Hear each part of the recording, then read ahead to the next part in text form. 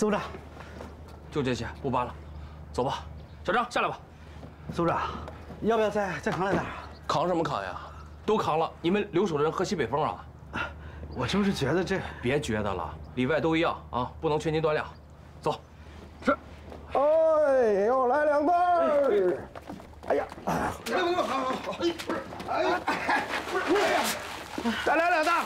别别别，陈班长，你这都给我们了，你们吃什么呀？库里缺氧，紧着你们吧。我们没问题，饿不死啊。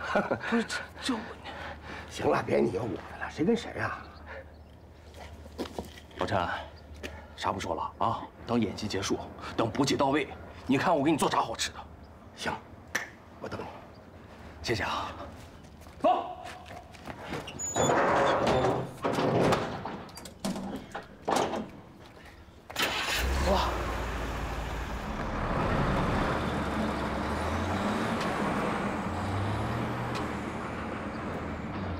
班长，右眼大爷呢啊！出手阔绰呀，大手一挥，两袋大米。哎，能正经点吗？我饿呀，有东西给我吃吗？又来了。哼！哎呀，你看，等到时候没东西吃了，大伙吃不吃你？你去哪儿啊？我去。你别打鹅的主意，等王建民回来找你拼命。哎呦喂！我看看也不行啊。行。哎呦我的妈！这这这，哥也不放过。报告，进。班长，这是我拟的住宿安排。留守期间，大家住在一块儿，这样是为了方便工作。怎么了？大了个脸，跟八万似的。人家是不高兴了，没能进入待机库，以为是首长嫌弃他呢。这照你的意思说，咱们留守的都是怂货。亲爱的欧阳金同志，睁开你这个大眼睛，你看看，有一个是怂包吗？班长，我不是那个意思，我真没生气，我就是想不明白，我到底哪儿不行了？为什么这么重要的任务不让我参加呀？这留守还不好啊？你知道你是什么样吗？我怎么不知道啊，班长，我又不是没去过。黑白颠倒，缺氧无光，生物钟紊乱。但我来了就是为了干这个的。看个家谁不会呀？班长，我先走了。王亚军，看家谁不会？瞧你这话说的，你以为咱们火箭军的家这么好看呢？你以为是那看大门老大爷，每天收发报纸，给别人指指路？留守车辆需要人保养吧？设备检测需要人吧？应急突发事件是不是需要人？是，我知道班长。但是谁干都行啊，也不缺我一个。那你的意思就是说，我们都是泛泛之辈？啊，班长，我不是这个意思，您别误会我。你也知道，我就是想去待个库嘛。进待机库能天天摸导弹吗？班长，您的意思是？没明白啊？啊，班长，您听是不是这个意思啊？呃，我留在这儿就能天天摸车摸导弹，实操和练习的时间比他们都多，对吗？行，孺子可教。我怎么没想到啊？我也想不到啊，班长。我怎么也想不到，接下来这几天咱们兄弟几个能吃点什么啊？伟大的陈班长。大手一挥，拿走拿走，咱们兄弟几个就得喝西北风了。我现在啊，应该找根绳子把你的素质给系上，我让你吃。你点到，哎，这大鹅都会见了没有？刚会见完呀。嘿，那几只大鹅排着队，用渴望的眼神看着我，嗷嗷待哺。我一想到接下来要发生在他们身上的悲剧，我眼泪都快掉下来了。咱们几个就要喝西北风了，咱们给那三只大鹅能吃点什么呀？班长，你刚才说几只大鹅？完了，完了，完了，完了，完了，完了！哎，了？四只，四只，四只。我还没来得及。哎，真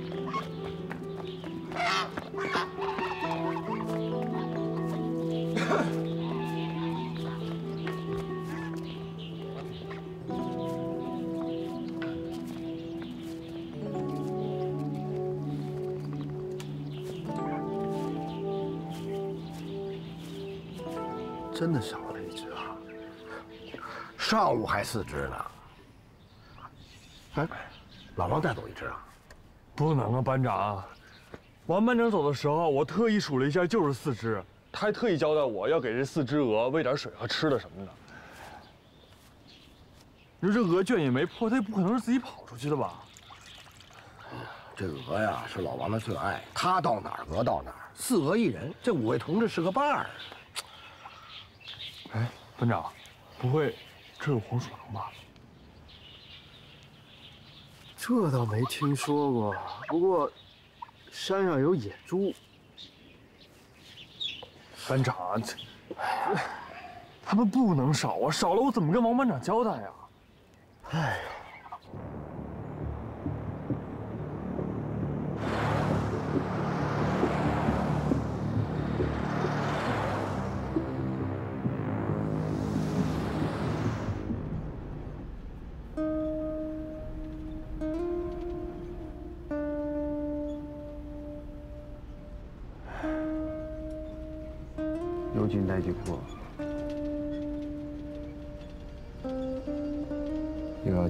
太阳了。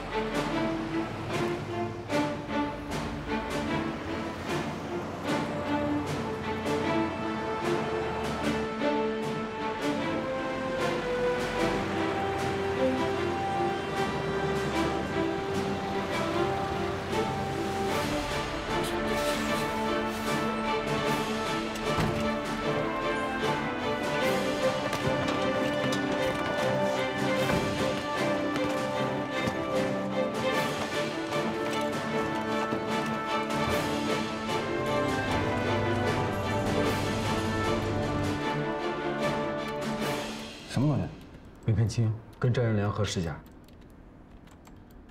战士连，战士连，这里是总控室。由于你连刚才大门关闭之前进来一只小动物，由于速度太快没有看清，请你连迅速核实，请你连迅速核实。向前走！加入！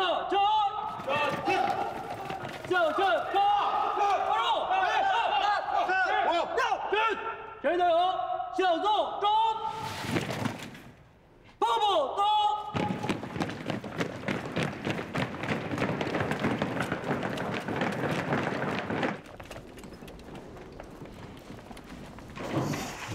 报告，连长指导员，刚才在仓库关闭之时，有一只松鼠跑了进来。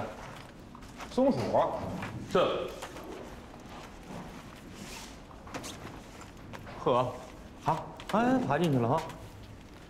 可爱倒是可爱，可这小东西喜欢乱咬，万一咬坏了什么电线电缆或者电器物资就麻烦了。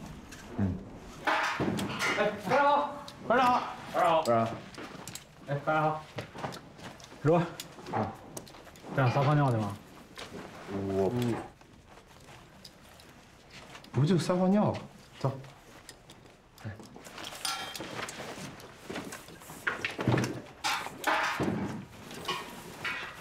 撒泡尿啊！哎，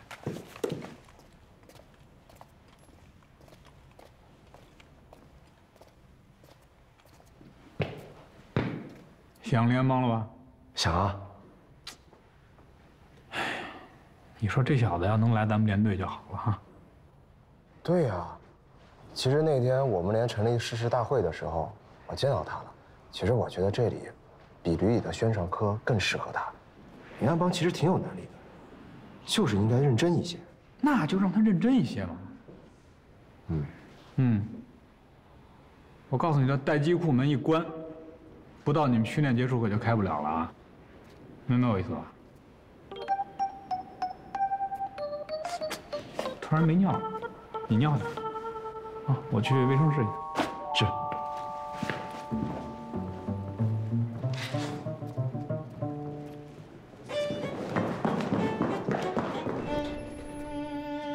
连爸，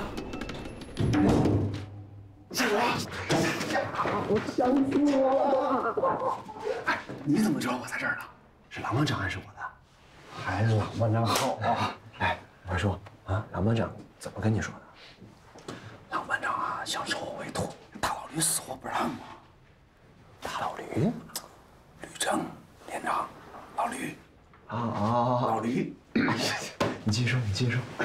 我现在不是在咱们旅里帮忙搞摄影吗？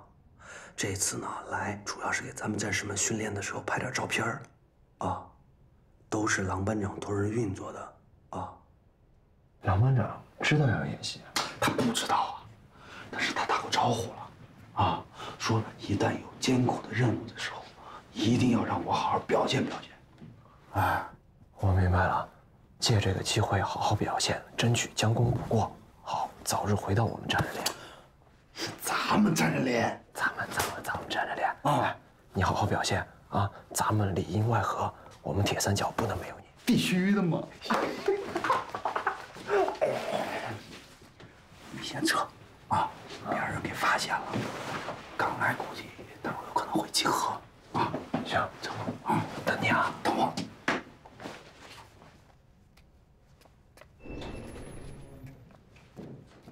哎呀，哎呀，太好了！这回总能让这个大老驴让好好表现表现了。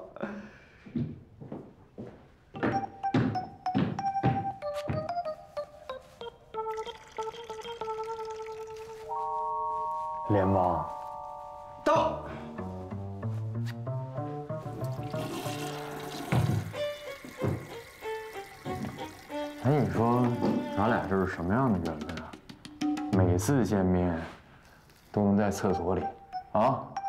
上次呢是在外面，这次呢是在你那儿，挺好啊。那个 连长，别叫连长啊，啊，叫老驴。大老驴啊，德鱼。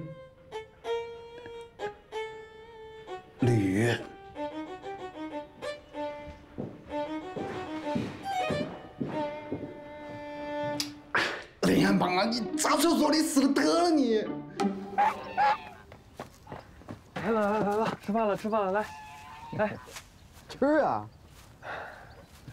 两位班长放心，我以后每天都会打扫这个鹅圈的，绝对不会让他们的气味影响谁吃饭的。够肥啊！可惜没有土豆，这玩意儿炖土豆啊！班长，不行，不能再少了，再少我没法跟王班长交代了。我过过嘴瘾也不行。哎，那只大鹅可跟我一点关系都没有啊！别瞄，别瞄啊！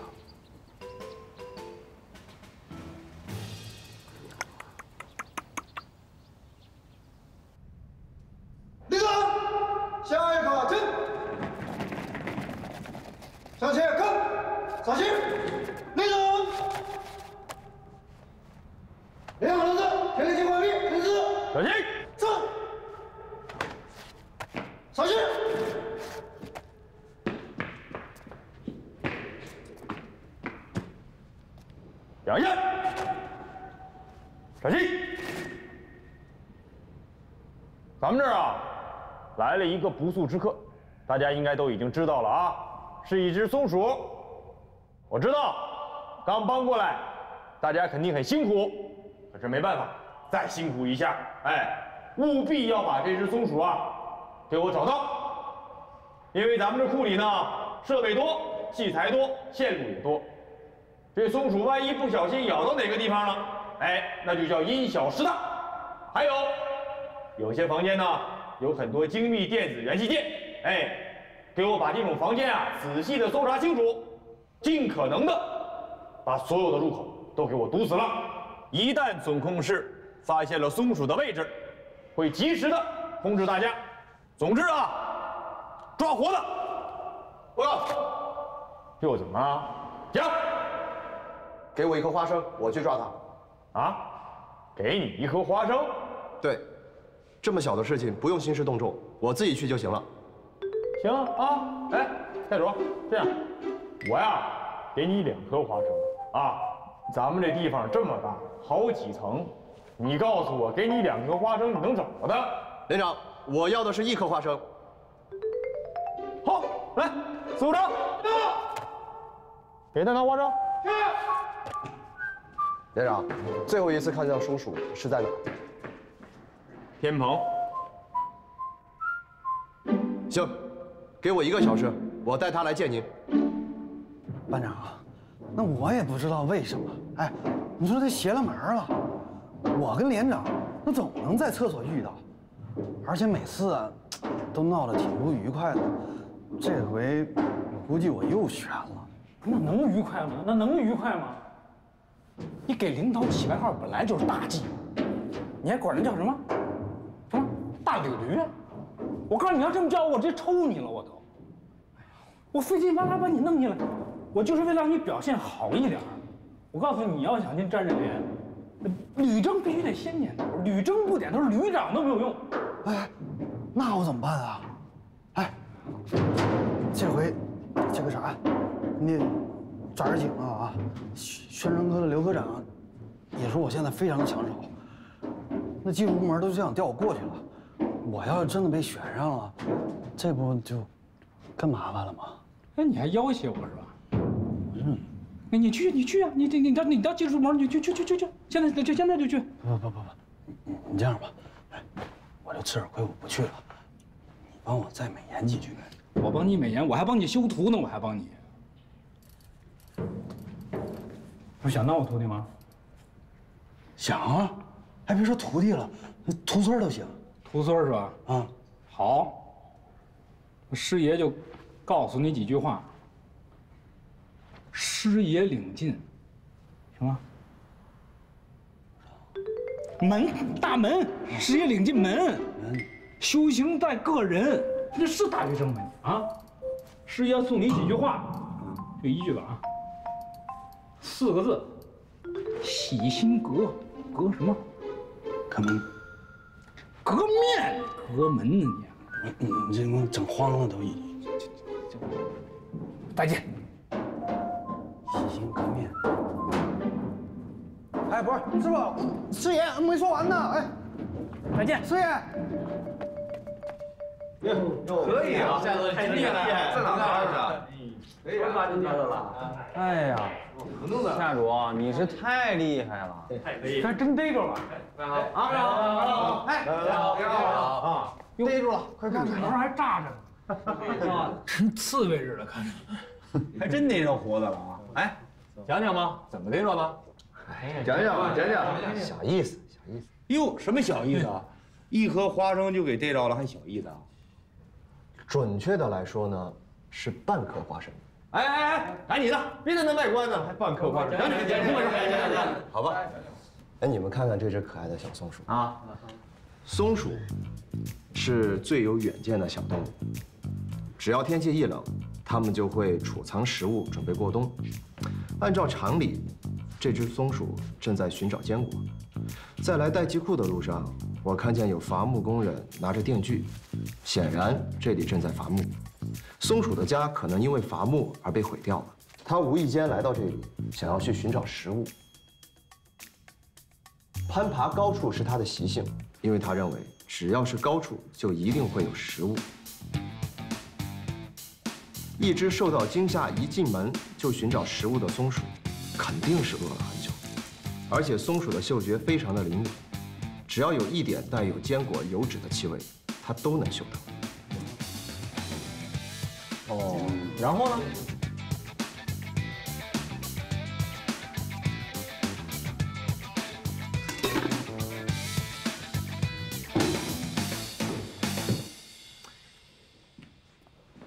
其实松鼠不是那么怕人，但是你最好不要从后边摸它，因为它眼睛看得到后面。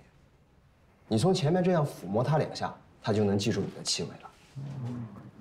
你要是那种不招人厌的人，兴许还能跟他做朋友。跟谁说？那你估计做不了朋友跟他。行了，送到王启民值班室去吧。啊啊？为什么呀？怎么的？你还要养活他呀？留着呗，留着呗，连长，他毕竟是个活物。你还是活物呢？你们都是，我养你们费不费劲？送到王启民办公室了啊，就这么定。好了啊，算了吧。班长，班长，听连长的吧，不让送炊事班就不错了。小金鱼，小松鼠。班长，啊，这是你养的？这是你抓的？嗯。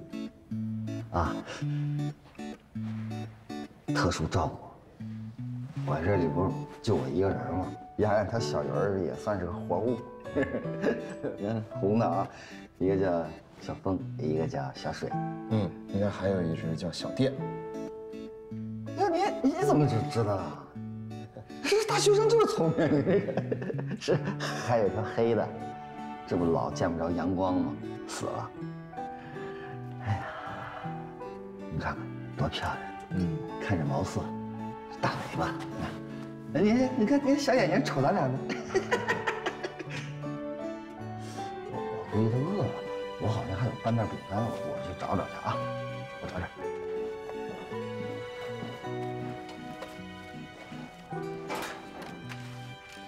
班长，啊，这儿呢。什么呀？连长特批，司部长数着令给我的。哎呦，这还有这好东西呢，这这这这真好。来来来来，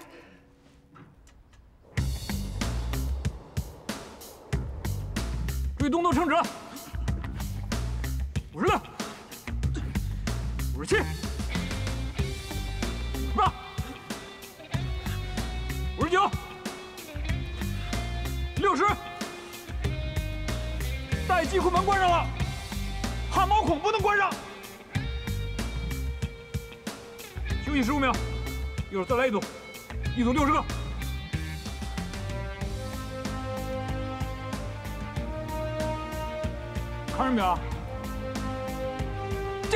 这点温度师傅都受不了，还当什么火箭军？你们在外边那些训练，那不是训练，那叫热身。这里才是我们的阵地。再来一组，一、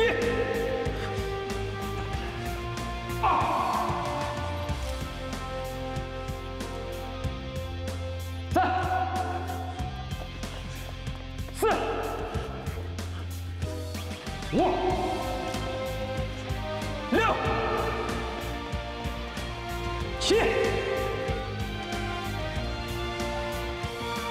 连吗？是。过来。这。起立休息。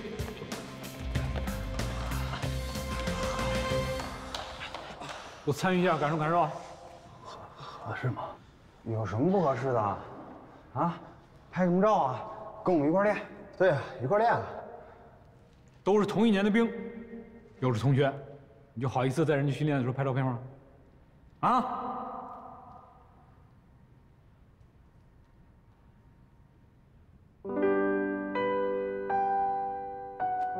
我李海豹不甘心，我来就是要当火箭军，我要当王牌好手。摄影机不是我的武器，照片不是我的阵地，我申请跟大家一块训练。连吗？是。对。是。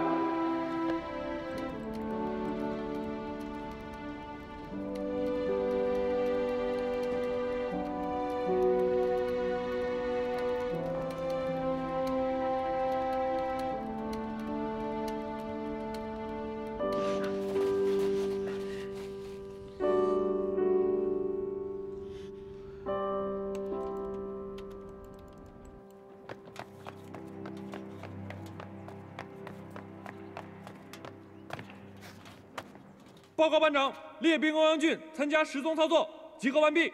应到五人，实到一人，一人在卫生室值班，其余三人在各岗哨执勤，请您指示。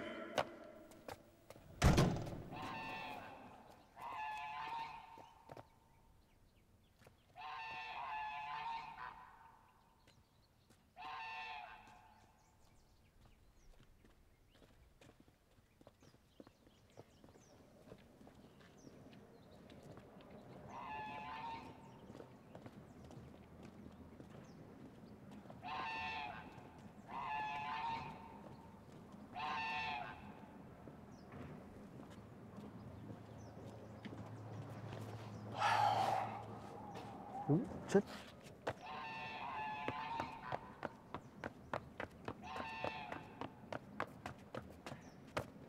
这这三位同志怎么回事啊？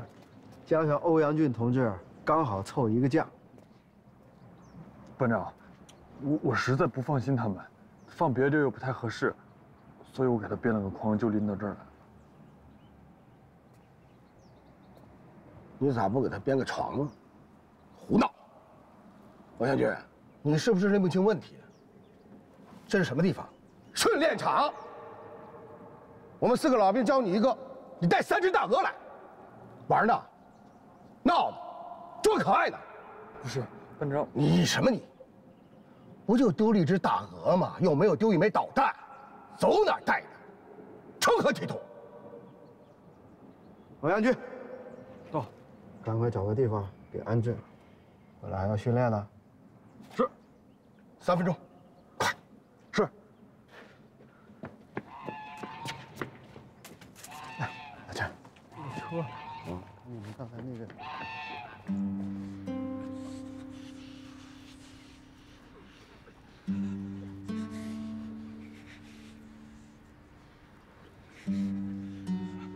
小朱，这小子还能坚持下来吗？还有十秒，也得坚持下来。九、八、七、六、五、四、走。三、二、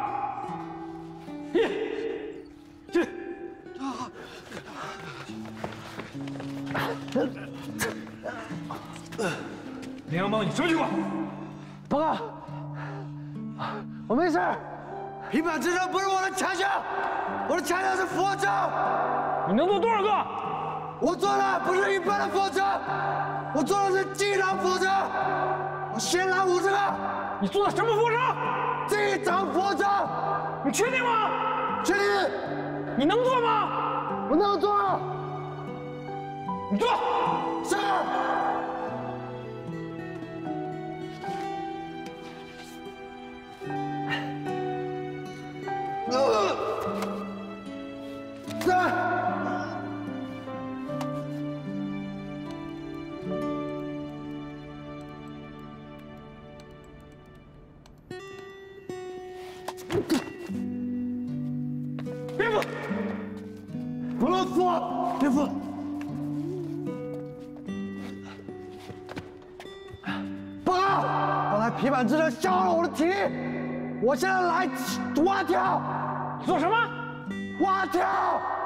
你跳个屁！你跳。吴队伟，是。向往右看，进。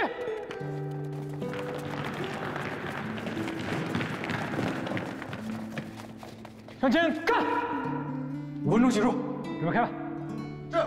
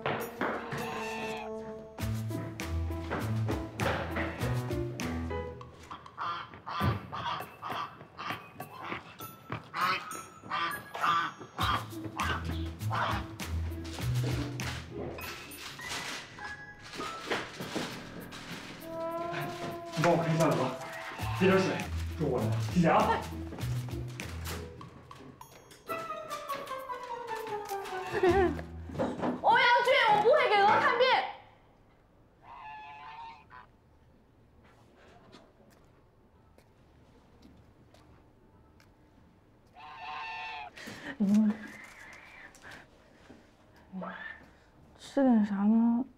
水、草、草行吧？啊，等着啊。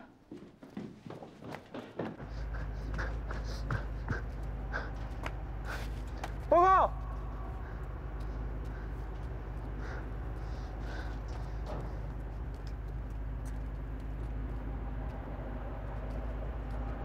现在我们进行时装演示，不是每一个新兵都有这样的机会的。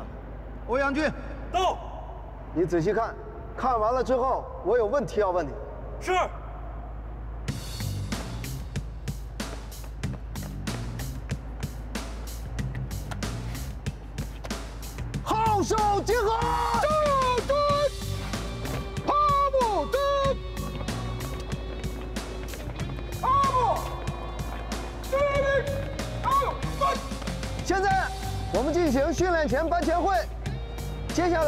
进行的是发射流程的演练，由我担任一号指挥号手。各号手还有什么要补充的吗？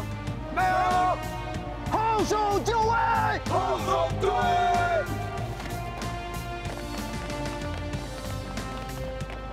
三号到，二号到，四号到，展开设备。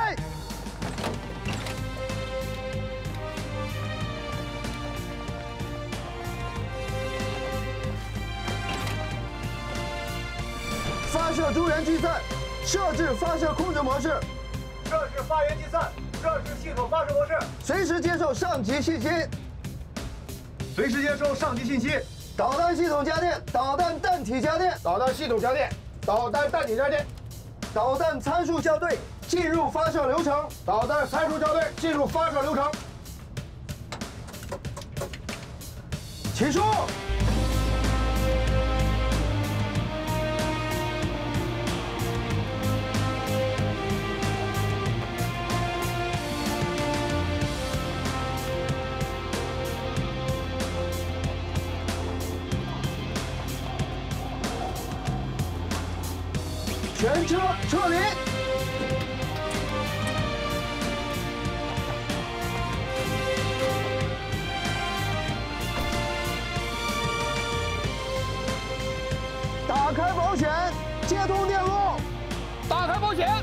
接通电路。进入发射窗口期。五、四、三、二、一，点火！点火！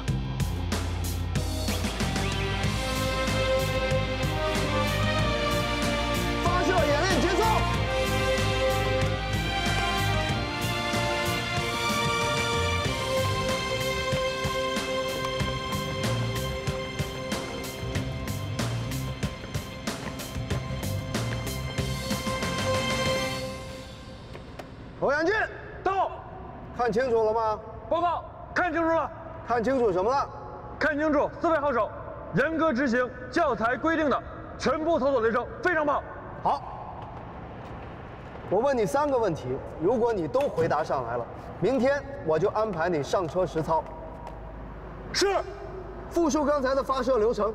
四号手，主电源开始供电，车载系统开始供电，全车取力供电，检测全程温度，密集监视各系统温度。三号手，系统家电，计算机家电，设置系统模式，系统测试，发射诸元计算，设置发射控制模式，随时接收上级火力信息。二号手，导弹弹体家电，导弹系统家电，导弹参数校对，开始进入瞄准程序，传输火力诸元，加载火力诸元。行行行行行，你这是在背教程啊？班长，好像这就是流程。那我问你，一号指挥号手按照标准程序从车后绕到通讯鹤手站位了吗？我从车前绕的还是从车后绕的？第二个问题，侧发控号手在传输火力诸原时用的是 A 一还是 C 二？A 一，C 二，通波频率是多少？没记清。第三个问题，发射架起数用了多少时间呢？二十五秒。我问的不是标准数值。报班长，我没数。好，我来回答你这三个问题。第一个问题，我是按照流程从车前绕到通讯号手站位的，我做的没有错，你答对了，但是又改口了，说明你心里没有底，也就是没有看清楚。第二个问题，侧发控号手先启用了 A 一频道接通旅址，在传输火力诸原神切换成了 C 二，为的是。防止敌方的通讯追踪。第三个问题，标准的起诉时间应该是二十五秒，但是今天却用了三十秒。液压前臂明显起始动力不足，造成了五秒钟的延误。当然，都是这台训练车所模拟出来。但是，一个发射架四个号手，我们每一个人都应该眼观六路，耳听八方。整个流程每一个动作每一秒的流失，心里都应该清清楚楚。因为在战场上，绝没有今天这样风和日丽。报告，每一个人都按照本职工作做好不就可以了吗？如果每一个人做好自己的本职工作，那么所有的人，整个整体不都是好了吗？你说的非常好。如果每个人在做好自己的本职工作的同时，又能兼顾一下自己的队友，那是什么？是不是锦上添花？王军，今天是给你上的第一课，在战场上决定胜利的，不仅仅是百分之百不失误和完美操纵，那是火箭军的基础，必备的、应当应分的。决定胜利的，是百分之一百零一。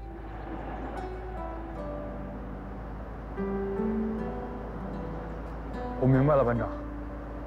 战刃连的兵，没有一百分，只有一百零一分。多出来的一分，就是要比敌人多一分，这一分就是决胜的关键，对吧，班长？谢谢班长。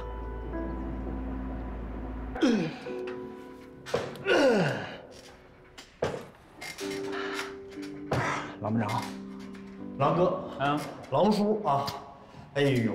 我呀不瞎，我都看着呢，对吧？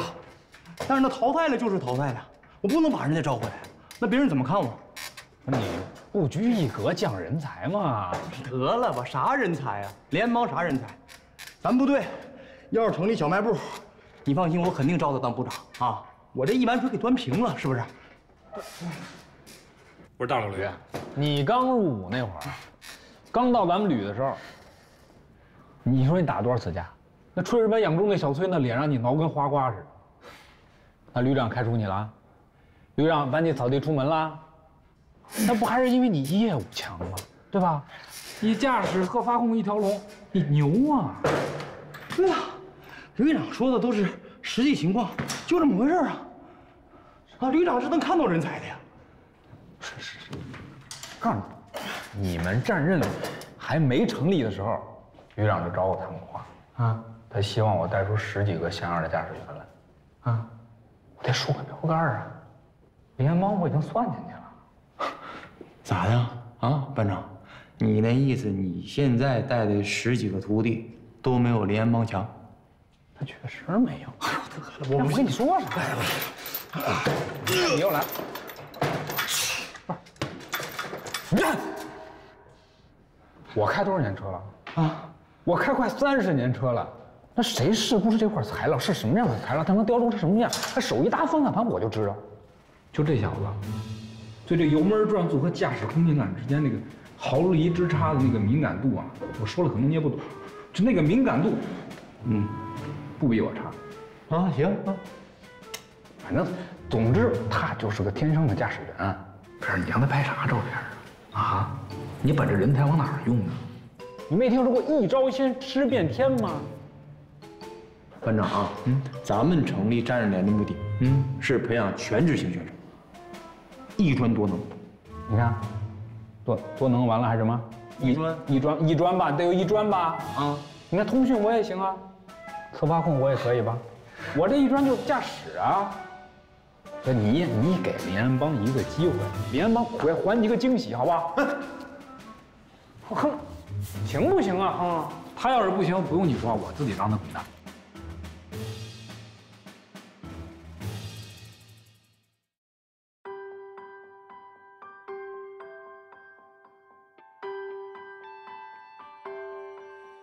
一提到未来啊，我想过无数可能，会跨山，也追风，冲撞一段段旅程，顽劣小孩，长成可靠的大人，我没想过。有一天戎装一身，我仰望的蓝天归属于我的灵魂，我双手的长剑筑起坚固的家墩，午夜时分。